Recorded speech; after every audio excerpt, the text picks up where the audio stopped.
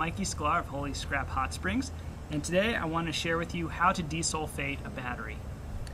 This device right here is Mini-D. This is a battery desulfator.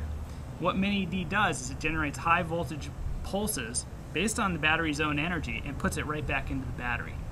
What happens with the battery is if it's stored below 12.3 volts, it will start to sulfate. So these 12 volt batteries can be restored with the battery desulfator.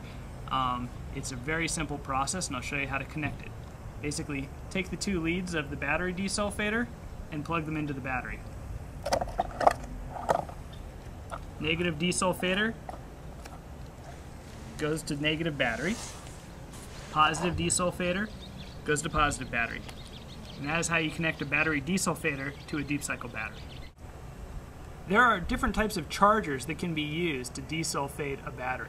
And by that I mean when the desulfator is running, it's stealing power from the battery and it's losing it in heat and other forms, so the battery is going to drop even further in energy.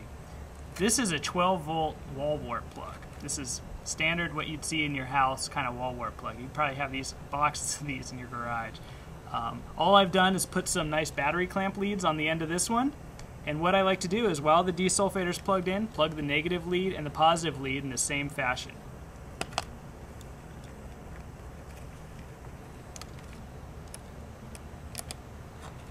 This would go into the wall outlet now. Now the idea here is that while the desulfator is running and taking energy out of the battery, this charger is trickle charging the battery and making sure that it doesn't go too low. So these are nice because they have no smarts in them. This will keep charging a battery. You'll want to check on the battery at least every 12 hours and make sure there's no heat coming off the battery and that the voltage of the battery looks reasonable, below 15 volts. Remove the battery desulfator and the charger that are connected right now. I always remove negative lead first and then positive, and when I attach things it's always negative lead first and then positive.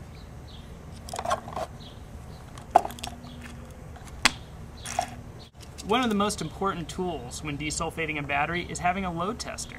This is a fairly inexpensive load tester. I bought it for $15 new. They go up to $60 and then way up from there for some really high-end digital ones. You don't need to spend that much.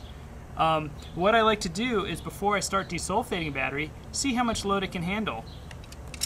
Negative lead goes to negative battery. Positive lead goes to positive battery.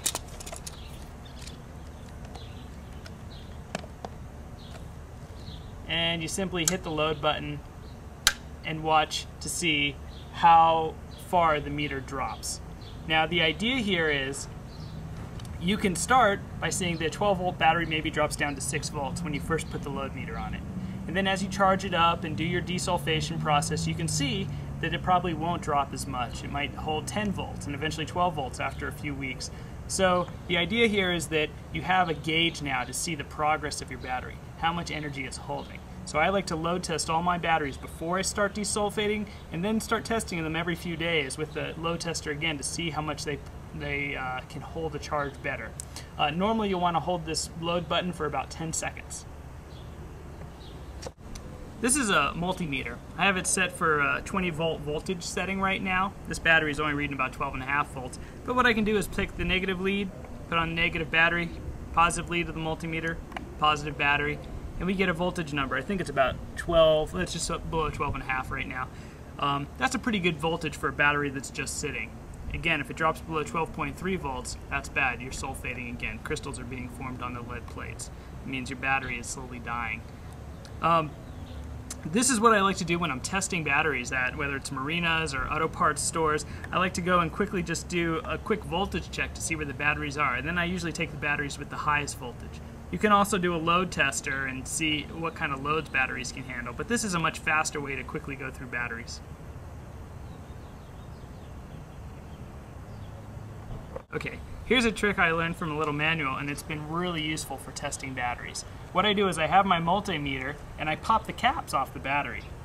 And then I take the red lead of my multimeter, the positive, and the negative lead of the multimeter, and I put that right into the acid.